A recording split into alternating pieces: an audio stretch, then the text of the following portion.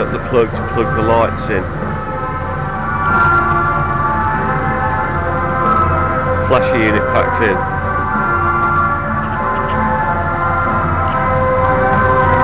Should be able to get it going from now. We've got some sound now.